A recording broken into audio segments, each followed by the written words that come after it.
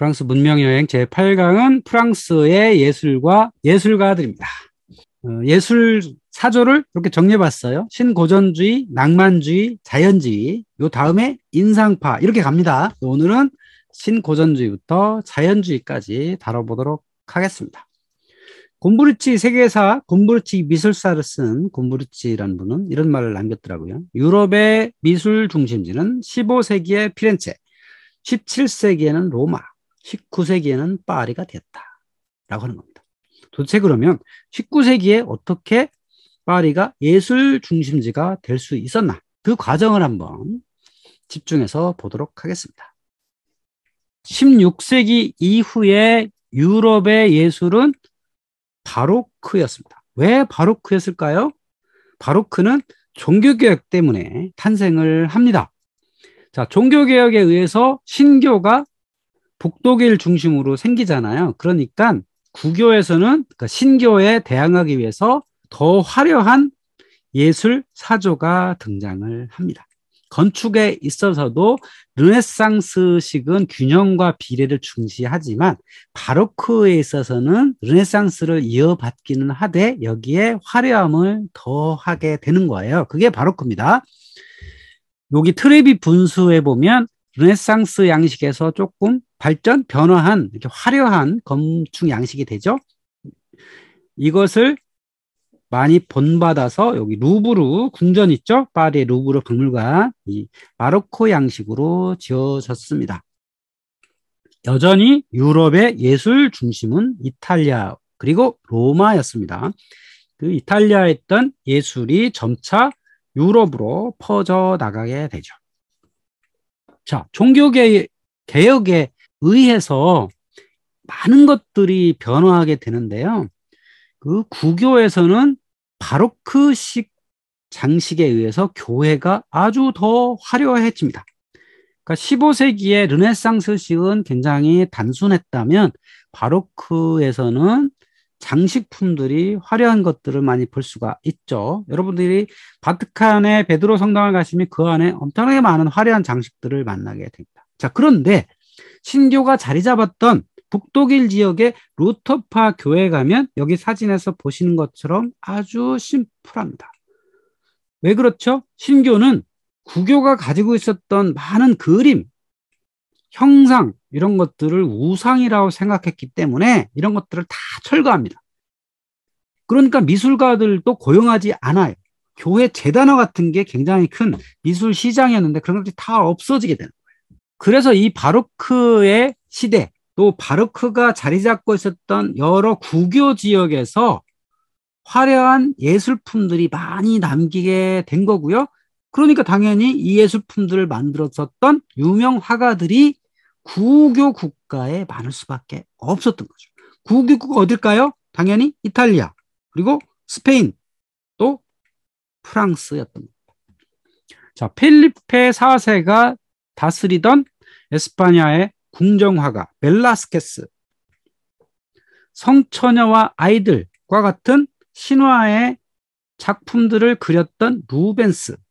이 루벤스란 사람은 당시에는 네덜란드 지역으로 알려져 있지만 오늘날에 보면 벨지움이에요. 벨기에 지역에서 활동했던 사람이에요. 그러니까 벨기에라는 곳이 원래는 네덜란드 권역이었는데 네덜란드 남부는 국교 지역이고 북부는 신교 지역이었던 거예요. 신교 지역에서는 화가들이 먹고 살 길이 전혀 없고 그 바로 밑에 국교 지역에서는 신교와 경쟁에 의해서 더 많은 자금을 예술품에 투자를 하게 된 거죠. 그러다 보니까 이 루벤스란 사람이 엄청나게 많은 미술품 주문을 받게 된 거죠.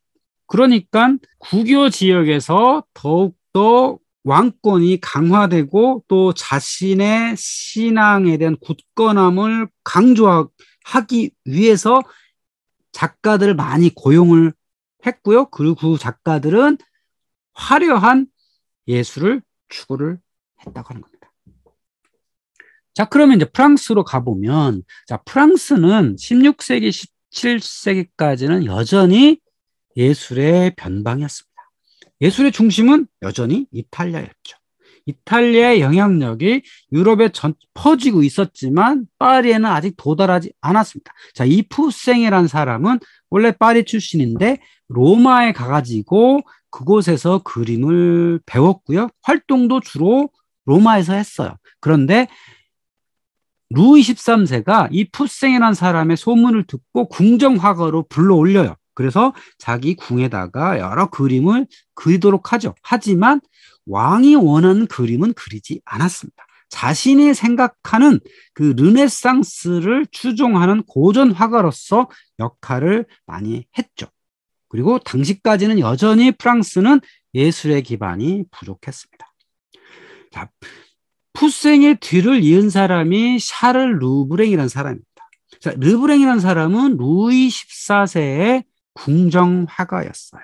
그리고 이 사람도 로마에 가서 고전주의를 공부하죠. 푸생의 제자로서 그곳에서 오랫동안 로마의 그림을 공부한 다음에 프랑스로 돌아와서 루이 14세에 고용이 됩니다. 궁정화가로 일하게 됐는데 이 사람은 왕이 원하는 그림을 그렸습니다. 프랑스 왕은 구교를 지지한 왕이잖아요. 그러니까 이 신앙을 강조하게 되겠죠. 그 여전히 성서에 나오는 이야기 중심으로 그리게 되고 또 루이 14세가 뭘 포방을 했죠? 아폴론을 자기가 인 것처럼 이렇게 표방을 했죠. 그래서 루이 14세가 태양왕이라는 별명을 가졌잖아요. 그러니까 이런 루이 14세를 잘 빛나게 해줄 수 있는 그림들을 많이 그리게 된 거죠. 근데 당시까지 화가라는 사람은 뭘 해야 되냐면 공부를 많이 해야 됐습니다. 왜? 주로 어디서 이야기를 따오냐면 그리스 신화 그리고 성서 이야기를 채택한 다음에 그걸 그림으로 표현해야 되잖아요. 글씨로 있는 걸 그림으로 표현해야 되니까 공부를 많이 할 수밖에 없죠. 물론 모든 장면을 그림을 그리진 않았어요. 특정 장면들이 있어요.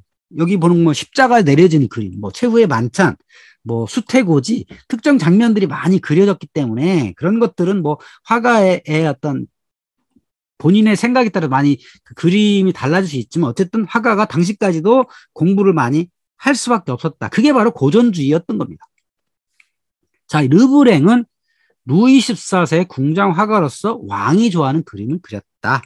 그리고 이 사람이 남긴 대표작은 베르사유 궁의 그 천정화다. 자, 베르사유 궁은 루이 14세가 원래는 루브르 궁에 살다가 자기가 살 만한 궁을 지었던 거죠. 그래서 이 궁을 장식할 사람으로 이제 르브랭, 르브랭이 선정이 되었던 거고 그 안에는 여러 그 장식 그림들은 주로 이 루이 14세의 모습을 아폴론으로 치환을 해가지고 표현했던 그런 그림이었던 겁니다.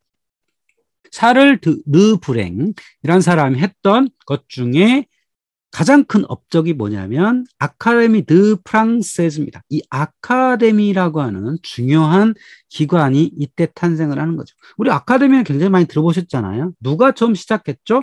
바로 아테네에 있었던 철학자 플라톤이 만들었던 거잖아요. 그런데 이 아카데미가 나중에 15세기에 피렌체에서 다시 등장을 하죠.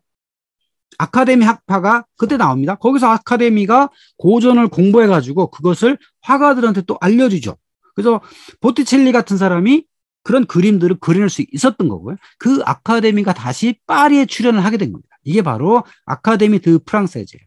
그러니까 이것은 르브랭이 주도를 해가지고 루이 14세에 지원을 해가지고 로마에 설립되었는데 이 아카데미에서는 매년 한 명을 뽑아가지고 로마 대상 수상자로 선정을 합니다. 그래서 그 사람은 로마로 유학을 보내요. 거기서 그림 공부와 더불어서 신화, 성서, 고전을 공부하게 되는 거죠. 당시의 화가는 당연히 이야기를 가져다가 그림을 그린 거기 때문에 이야기 공부를 할 수밖에 없죠. 그래서 여기를 한 명씩 로마에 가니까 거기서 몇 년 공부가 돌아오잖아요. 그 돌아온 사람들이 계속 파리에 와서 활동을 하게 되니까 당연히 이 사람들 중심으로 파리의 예술 학파들이 일종의 만들어지는 거죠. 그게 바로 고전주의 학파였던 거죠. 고전주의 학파가 아카데미에서 양성된 사람들 중심으로 만들어지게 되는 겁니다. 프랑스의 예술 발달에 큰 기여를 한 게 로마 대상이라고 하는 거죠. 그래서 젊은 예술가들이 로마에서 공부할 수 있도록 정부가 주는 장학금이다. 1년에 한 명을 뽑아가지고 보냈다. 1663년에 재상 콜베르에서 건축, 미술, 조각 분야에 한 명씩 뽑아서 보냈다. 국왕이 제공하는 비용으로 이탈리아 아카데미가 자리 잡고 있는 로마 만치니 궁전에 체류하면서 공부를 하고 견문을 넓힐 수 있었다라고 합니다. 이 로마 대상 수상자들로 다녀온 사람들이를 중심으로 파리의 살롱이라는 것들이 이제 만들어지죠. 근데 이 로마 대상은 뭘로 유명했냐면 사실은 여기서 당선돼서 갔다 온 사람보다는 여기에 당선되지 못한 사람들이 더 이름이 많이 알려진 그 낙선자가 더 유명합니다. 왜냐하면 낙선했는데 오히려 그 낙선한 사람이 화가로서 이름이 높아진 경우가 많았기 때문에 그런 거죠. 그 대표적인 사람이 들라크루아, 에드와르 마네, 에드가 드가, 작곡가 모리스 라벨 같은 사람이 낙선했기 때문에 더 유명해진 거예요. 어떻게 이 사람들이 낙선했느냐 이런 거죠. 또 루이 다비드 같은 사람은 세 번 낙선을 계속한 거예요. 그러니까 좌절했죠. 도대체 내가 왜 낙선하느냐. 그래서 자살 기도까지 했는데 네 번째는 결국은 로마 대사 당선이 돼가지고 로마에 다녀오죠. 뭐 국가에서 이렇게 한 명씩 뽑는다는 게 더군다나 예술 분야에 미술, 해와 건축과 해화 분야에 사람을 보낸다는 게 쉬운 게 아니죠.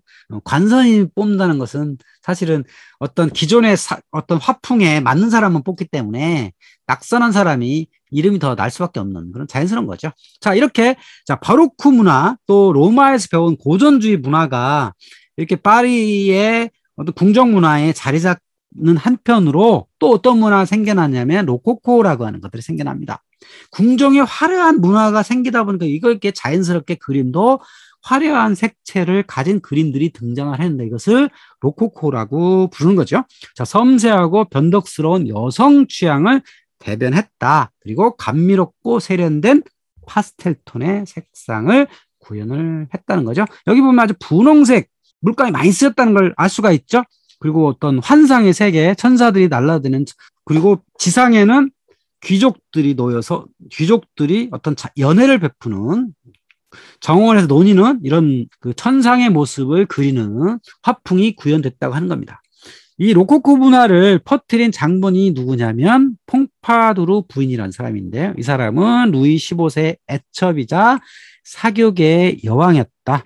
이 사람의 옷을 보면 예, 분홍색 아주 아름다운 화려한 무늬를 가진 옷을 입었죠. 자, 부세란 사람이 그린 기대 누운 여인 같은 걸 보면 침대에서 본 화려한 색상을 가진 화풍을 가진 게 로코코라고 할 수 있죠. 그 그림도 그렇고 집의 장식도 아주 예쁘고 화려한 모습을 가지려고 했다. 그래서 루이 13세와 14세를 거치면서 로마를 뺏기고 따르려고 했던 파리의 모습, 또 그에 걸맞는 예술가의 도시로 점차 성장을 하기 시작합니다. 그러니까 로마 대상자를 뽑아서 매년 한 번씩 로마에 가서 화가들을 집중 육성을 하니까 그 사람들이 뭐 10년만 지나도 10명의 사람이 있고 물론 로마 대상에 당선되지 못했더라도 거기에 영향을 받아서 많은 화가들이 국가의 지원으로 활동을 하다 보니까 어느새 파리에 많은 예술가들이 활동할 수 있는 그런 환경으로 만들어졌던 겁니다.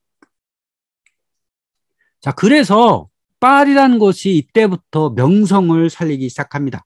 자, 15세기, 16세기, 17세기까지는 당연히 로마가 최고의 도시죠. 그리고 거기에 교황님이 계시기 때문에 서부 유럽의 로마 카톨릭의 신앙인은 당연히 교황을 찾아가기 위한 순례길을 하게 마련인데 그때 파리라는 것을 거치게 됩니다. 특히 잉글랜드 사람들이 파리에 가서 1년을 체류하고 가게 됐는데 그 이유가 바로 프랑스의 궁정 교양이 유럽 귀족이 갖춰야 할 표본이 되었기 때문입니다.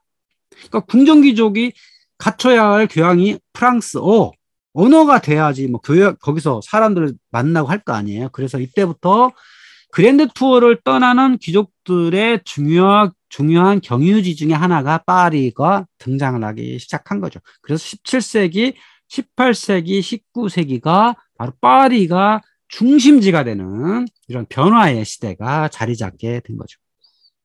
자, 드디어 고전주의 해화의 거장이 등장을 하는데요. 다비드라고 하는 사람이죠.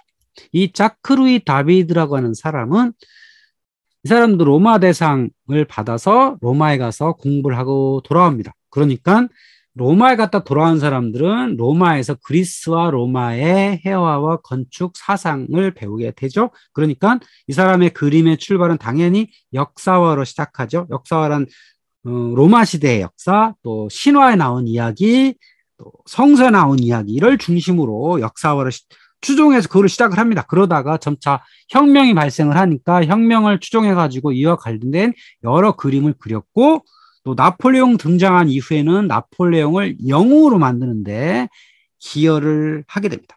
근데 이 사람을 중심으로 자리 잡게 된 고전주의라는 것은요. 그러니까 고전주의는 원래 르네상스 시절에 있었던 고전주의라고 부르잖아요. 이 고전주의와 구분하기 위해서 17세기, 18세기, 19세기에 서유럽에서 등장한 고전주의를 신고전주의라고 부르거든요. 그래서 이 신고전주의 사람들은 이성과 절대미를 추구한다. 이성이란 뭐죠? 비례와 균형을 유지한다는 거죠. 로코코식의 화려한 것은 배제하고 감성을 배제하고 이성, 당시에 계몽주의가 프랑스 사회를 바꿨잖아요. 그러니까 그 계몽주의가 추구했던 인간의 이성을 중심으로 그림도 이렇게 표현했다는 거죠. 이것이 바로 신고전주의라고 하는 겁니다. 다비드가 남겼던 유명한 그림 있죠? 소크라테스의 죽음. 1787년 혁명이 일어나기 직전에 그렸던 그림인데 이 그림에서 보시면 소크라테스가 사형되는 장면들을 아주 상세한 묘사를 통해서 그리고 있죠. 아테네가 아닌 로마의 어느 장소처럼 이제 보이죠. 그리고 인간의 몸을 이상적으로 만들죠. 이 소크라테스도 운동을 굉장히 열심히 했을 것 같은 전혀 70세 먹은 노인네 같지 않은 모습으로 그리는 게 이런 고전주의 특징인 거죠. 그래서 엄청난 묘사 실력을 표현하게 되는 거죠. 그래서 이 고전주의 그림을 보면 참 그림 잘 그린다 이런 평가를 들을 수밖에 없겠죠. 이 그림 하나 그리는데 얼마나 걸릴까요? 몇 년 걸릴 것 같아요. 이 정도로 섬세한 표현을 하게 되는 게 고전주의라고 할 수 있겠죠. 그리고 이 사람이 남긴 여러 작품들을 보면 대부분 그렇습니다. 여기 신화의 하나의 장면, 파리스와 헬레네의 리라를 키는 파리스의 모습을 볼 수가 있고요. 또 라부아지의 부부의 초상화 이런 초상화 같은 경우에도 여기 테이블에 있는 자주색 그 탁자보 같은 거 보세요. 얼마나 섬세하게 그렸는지를 알 수가 있죠. 우리가 그림 잘 그리네라고 얘기할 때 바로 이 신고전주의 화가들을 얘기할 수 있겠죠.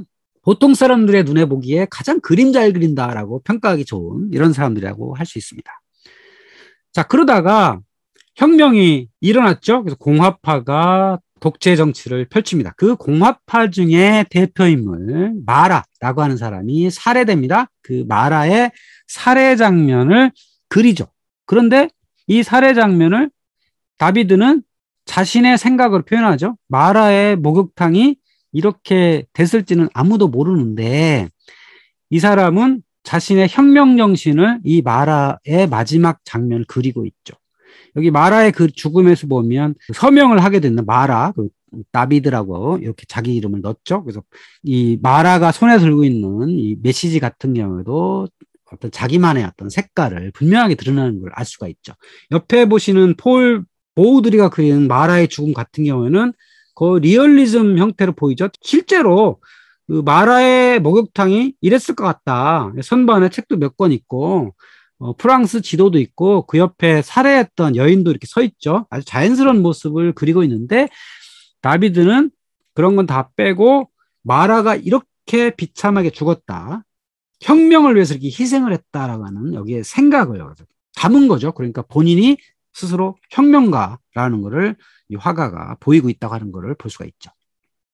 유명한 그림 하나가 또 뭐냐면 사비니 여인들의 화해 라고 하는 거죠. 자, 사비니 여인들은 로마 왕정 아주 초기 시절에 로물루스와 레무스가 다스리던 로마라고 하는 도시에서 사빈이란 여인들을 납치해오죠. 그 여인들이 로마 군인들과 살고 있다가 그 사비니의 남자들이 쳐들어왔어요. 그 쳐들어왔던 그 장면을 그리고 있죠. 여기 중앙에 보면 하얀 옷을 입은 사비니 여인들이 있고 좌측에는 자기 오빠였던 사비니 남자고 오른쪽에는 로물루스예요. 자기 남편인 로물루스. 그러니까 자기 오빠와 자기 남편을 화해시키는 여인의 모습을 이렇게 그리고 있습니다. 자, 그런데 그러면 이 시점이 어떤 때냐? 공화파와 왕당파가 치열하게 싸우고 있던 서로 과오가 있어요. 이 사빈족도 과오가 있고 로물루스, 로마인도 과오가 있어요. 서로 과오가 있지만 서로 화해해서 잘 살아야 한다라고 하는 모습을 보여주고 있죠. 근데 이 장면을 보면 저 뒤에 건물이 있는데 저 건물이 바스티우 감옥처럼 그리고 있습니다. 그러니까 이 파리의 현실을 사비니의 여인들의 라고 하는 사람들 빌어서 이렇게 그림을 그리게 된 거죠. 이 다비드란 사람이 굉장히 머리가 좋죠? 옛날에 로마 시대에 있었던 장면을 이렇게 아름다운 그림으로 표현할 수 있는 이런 고전주의 화가로서의 능력을 보이는 이런 사람이라고 할 수 있죠. 바로 혁명의 메시지를 스스로 낼자는 이런 사람이라고 할 수 있죠. 자, 그러다가 나폴레옹 등장을 하죠. 나폴레옹 등장을 하자 이 사람은 나폴레옹 추종자가 됩니다. 그래서 나폴레옹의 영웅화에 큰 기여를 하죠. 나폴레옹의 대관식이라고 하는 어마어마하게 큰 그림을 그립니다.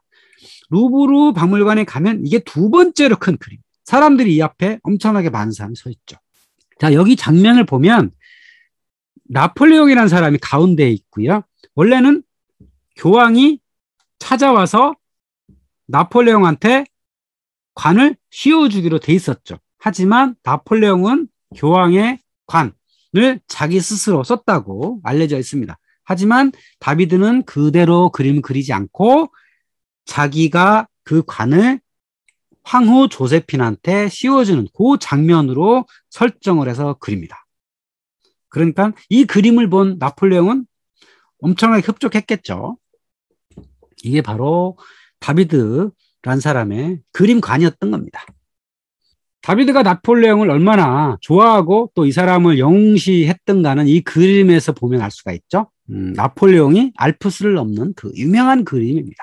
자, 좌측에 있는 것은 나폴레옹이 알프스를 넘을 때 멋진 백마를 타고 말에 기, 깃발을 휘날리면서 망토를 휘날리면서 산을 넘는 이상화된 그림이고 오른쪽에서는 폴 들라로스라는 사람이 그린 실제 이렇을 것 같은 그림이죠. 실제로는 알프스를 넘는데 눈길을 노새를 타고 넘었었던 그림이었던 거죠. 뭐 어쨌든 어, 당신은 영웅이 필요했던 시대니까 다비드는 영웅 나폴레옹을 이렇게 멋있게 그리고 있는 겁니다. 자, 다비드는 그러, 그러고서 나폴레옹이 몰락한 다음에는 감옥에 갇혔다가 나중에 망명을 하게 되죠. 자, 다비드를 잇는 사람이 누구냐면 앵그르라고 하는 사람이죠. 이 사람도 고전주의 화가로 불리는 사람인데요. 자, 고전주의의 수호자다. 또 이 사람도 당연히 어, 선진국 이탈리아의 화가 라파엘로를 추앙을 합니다. 그리고 푸센과 다비드를 잇는 아카데미의 정통성을 지지하고요. 이 사람은 파리의 왕립 미술 전시회 살롱 여기에서 심사위원장으로 활약을 합니다. 그래서 상당한 영향력을 가졌던 인물이었습니다. 이 사람이 그렸던 그림도 여전히 고전주의의 표본이라고 할 수 있죠. 자, 회화를 그리는데 여성의 나체를 그릴 경우에는 여성은 반드시 신화에 등장하는 인물을 합니다. 그러니까 신화나 성서에 등장하는 인물만 나체로 가능하지 일반 여성은 나체로 그리지 않죠. 그러니까 고전주의 이전까지는 나체로 등장하는 여인은 다 여신의 모습을 했다고 하는 거죠. 여기 셈이라는 그림에서도 그렇고 유피테르와 테티스, 테티스는 아킬레스의 어머니죠. 아킬레스 어머니가 아킬레스 좀 살려달라고 유피테를 찾아가서 비는 그 장면 여기서도 나체 여인은 신이기 때문에 가능했다고 하는 겁니다.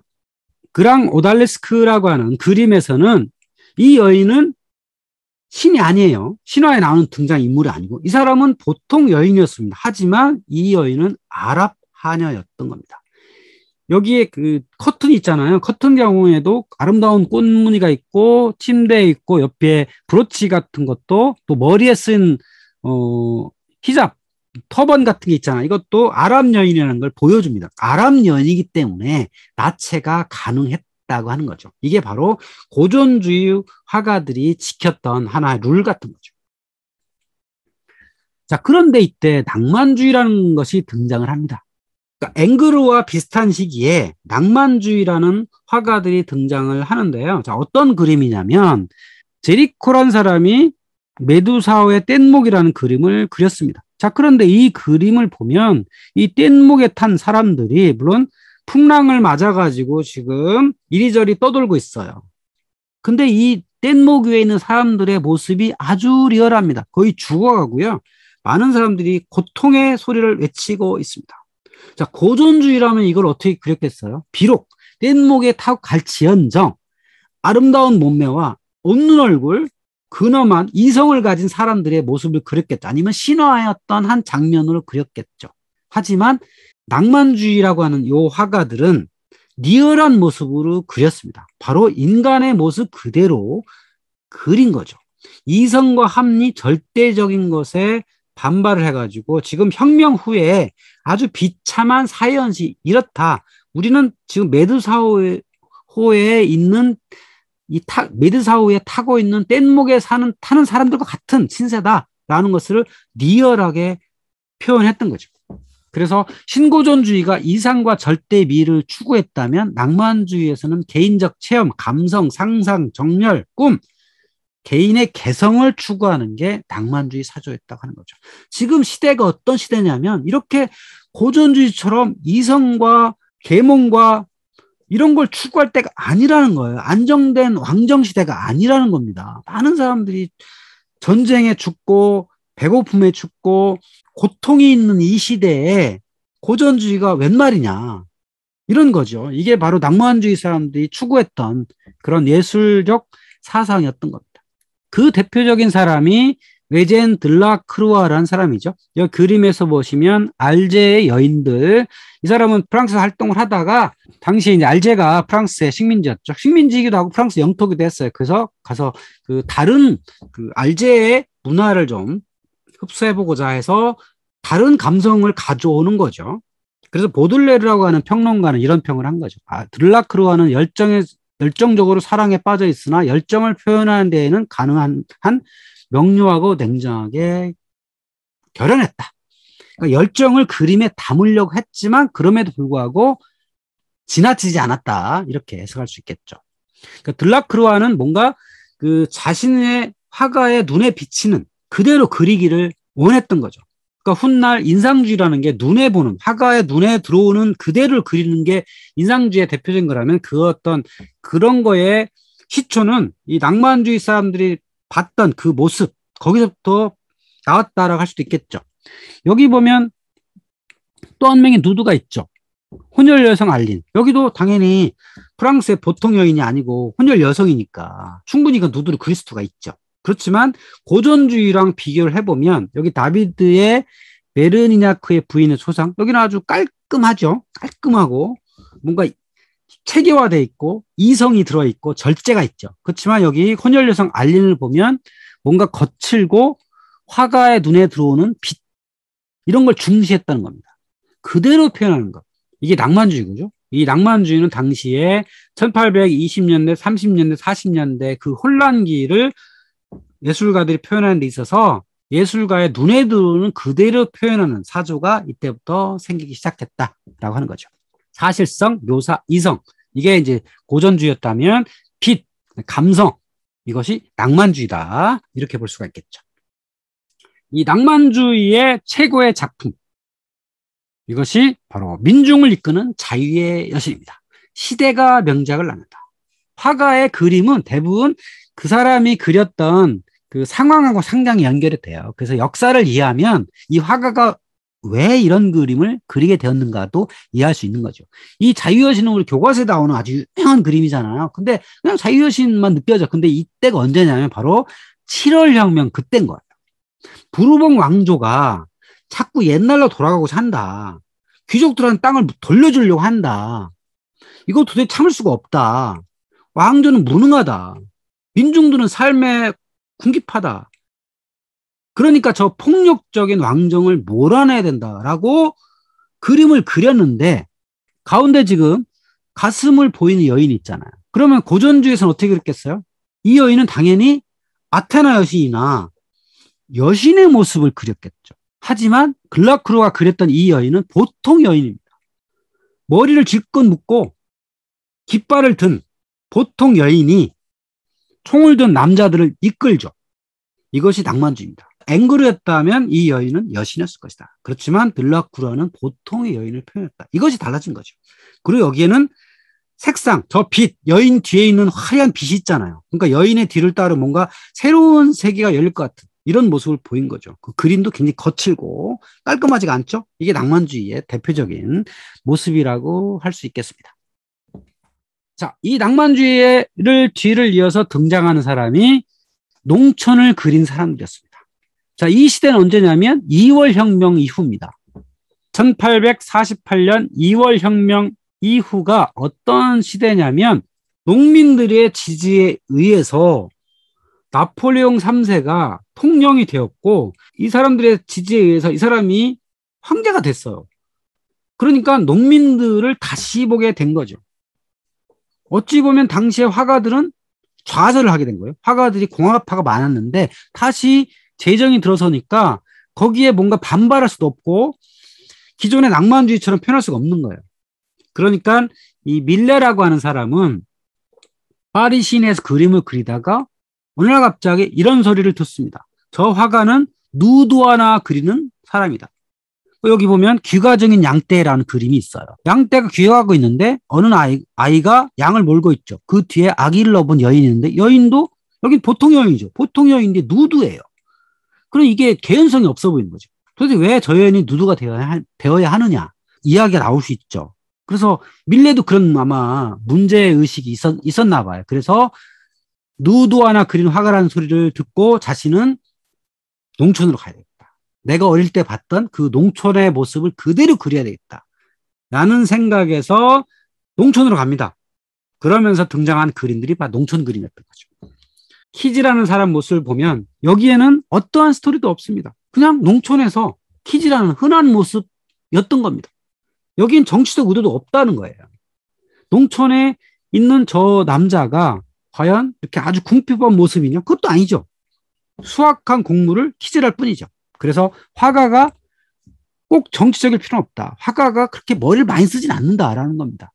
그냥 화가가 그린 그림을 이때부터 그냥 즐기면 된다. 이런 체계로 바뀌어 나가는 거죠. 자, 씨 뿌리는 사람, 또 숲의 가장자리에 앉아 있는 양치기. 여긴 그 어떤 정치적 의도도 이 안에 숨어 있는 스토리도 없죠. 신화 이야기도 아니고, 귀족 이야기도 아니고, 귀족의 초상화도 아니고, 왕을 충성하는 것도 아니고, 시골 농촌에 사는 젊은 남자 양치기의 모습이었던 겁니다. 이삭 줍는 여인의 모습이 있죠. 저 멀리 마차에 건초를 싣고 가는 사람들도 있고 이 앞에는 두 권을 쓴 세 여인이 남아있는 이삭을 줍고 있죠. 이 그림의 해석에 의하면 이 앞에 있는 여인 세 명은 빈민들이다. 그래서 저 마차를 끌고 가는 어, 분홍들이 흘리고 간 이삭이나 겨우 죽고 가는 사람들이다라고 해가지고 비참한 현실을 그렸다라고 하는 해석도 있더라고요. 하지만 그냥 자연스럽게 보면 된다. 이 시대에 농촌의 모습, 모습 자연스러운 사실 농촌에 가면 저런 이삭을 줍는 모습을 많이 볼 수 있거든요. 오늘날도 마찬가지입니다. 그러니까 이제 그림은 스토리를 따지지 않고 그냥 감상하면 되는 그런 시대가 되었다고 하는 겁니다. 밀레라고 하는 사람도 점차 자신의 그림이 인기를 얻습니다. 초기에는 당연히 어떻게 농촌에 있는 농부들 양치기의 모습이 그림에 담길 수 있느냐라고 생각했겠죠. 그리고 그림 자체도 그렇게 잘 그린 것 같지 않아요. 왜냐하면 다비드가 그린 그 고전주의 그림을 보면 너무 그림을 잘 그렸는데 여기 밀레가 근 그림을 보면 굉장히 거칠잖아요. 그러니까 이 그림이 어떻게 살롱에 출품될 수 있겠느냐라고 생각을 했는데 점차적으로 사람들은 이 그림에 대해서도 가치를 부여하기 시작합니다. 그리고 살롱에 출품이 되고 당선이 돼요. 그럼으로써 이 작품으로 인해서 명성이 점차 높아집니다. 하지만 밀레는 별로 돈을 벌지 못합니다. 왜냐하면 자신의 그림이 한 8년 나가서 계속 사람들 사이에 건너 건너면서 가격이 올라갈 뿐 화가한 보람은 별로 없었기 때문이죠. 자, 이 그림의 해석에 의하면 저 뒤에 교회당이 있고 교회당의 세 번째 종 하루에 세 번 종이 치죠. 그래서 만종 소리를 듣고 이 부부가 기도라는 모습이다라고 그래서 만종이라는 이름이 붙었는데 원래는 그냥 기도하는 부부였답니다. 제목이. 그래서 어떤 해석에 의하면 여기 바구니 밑에 아이가 묻혔다. 그래서 아이가 죽은 거를 묻고 두 부부가 기도하는 거였는데 그게 바뀌어가지고 그 위에 바구니를 놓고 수확물에 대한 기도하는 걸로 바뀌었다라고 하는 썰도 있어요. 어, 엑셀을 해봤더니 그런 게 있더라고 하는 썰이 후대에 있습니다. 어쨌든 이런 만종이란 이름이 붙어가지고 이 점차 유명해졌다라고 하는 겁니다. 그래서 자연을 그리는 이런 사람들이 등장을 하기 시작한 거죠. 그 전까지 화가라는 것은 어떤 스토리가 있고 신화, 성서를 공부해가지고 그 스토리를 그림 속에 담으려고 하는 의도가 있었는데 이때부터 그런 의도는 없어지고 오로지 그림 자체에 집중하는 이런 화풍이 생기기 시작한 거죠.